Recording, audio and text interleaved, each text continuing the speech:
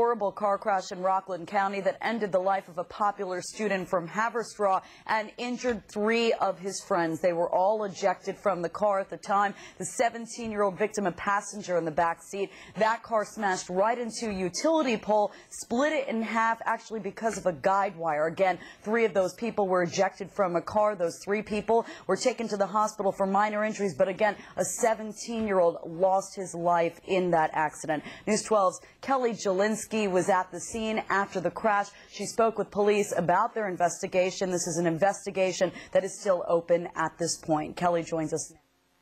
Tara remnants of this fatal crash are still visible. You can actually still see the skid marks showing where the Honda Civic carrying four teenagers careened out of control before crashing. Well, I've been a police officer for 30 years. Uh, I've seen accidents before.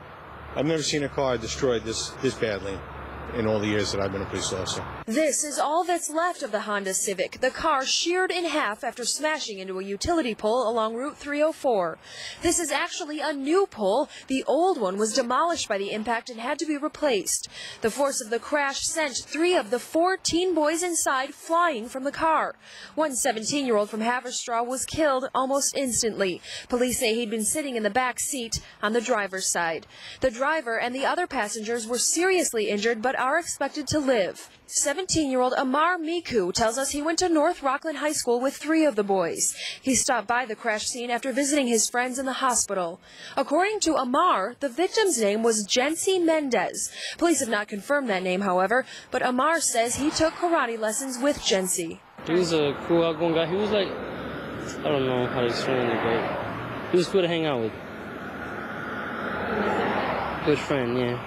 I miss him. And all day, people have been stopping by the scene to check it out for themselves. No doubt this spot will be remembered for a long time as a place of tragedy. Reporting in New City, Kelly Jelinski, News 12, Westchester. Tara. All right, thank you, Kellen. We just learned just a moment ago that that victim was a senior at North Rockland High School. According to police, only the driver of the car was wearing a seatbelt. No word yet on a cause or whether excessive speed or alcohol or drugs, for that matter, were a factor at all. See extended video from the day's top stories. Go to channel 612 and select IO Extra. Only on News 12 Interactive. As local as local news gets.